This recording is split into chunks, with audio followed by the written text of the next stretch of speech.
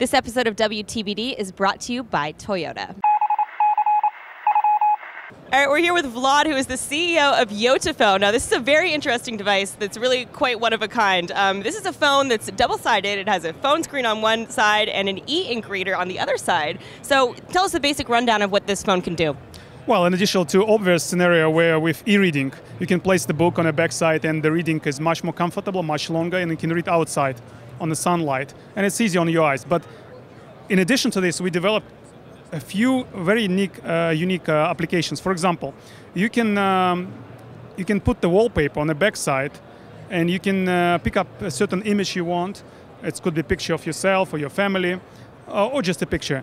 And you can set up the dashboard so you can pick up certain information like uh, exchange rate, latest sport news, or the weather forecast on the backside of the phone. Let me show you. Uh, and basically, it becomes a dashboard for you.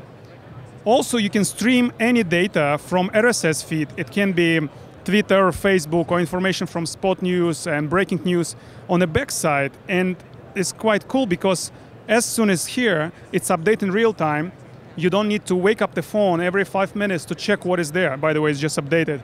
And so it's quite convenient because you keep the phone in front of you, in front of your eyes, and you know what's happening there. And so it's convenient for something like you'd have to uh, reference constantly, like a schedule or a boarding pass or a map or something like that. Basically, you probably heard there's a very bad habit developed with smartphones called phubbing, when we wake up the phone every five minutes and we ignore people around us and in favor of smartphones.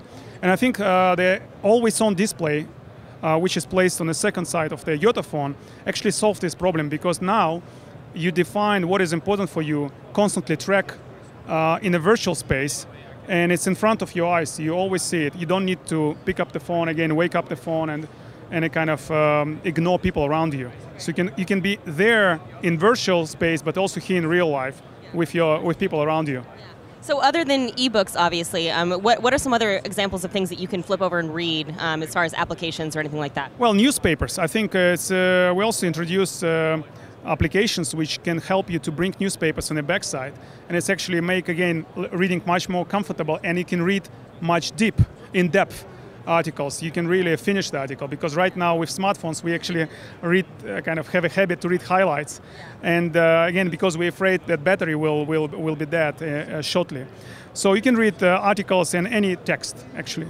But also you can, um, uh, this phone is quite unique from, the, from another perspective even when running out of battery, it's still useful.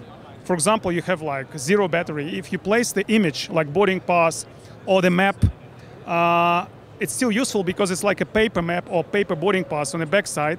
So you can still have a kind of um, opportunity to find location if you're using the map or to go for the security control if you use the boarding pass or just the latest phone number you need to call or the address, anything.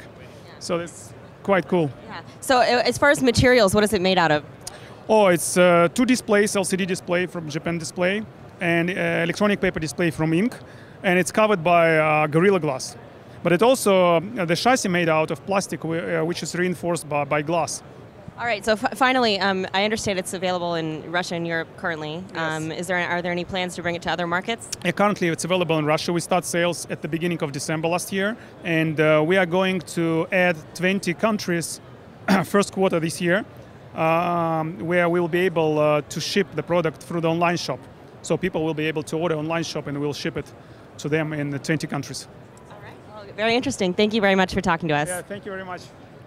And thanks again to Toyota for sponsoring our CES coverage.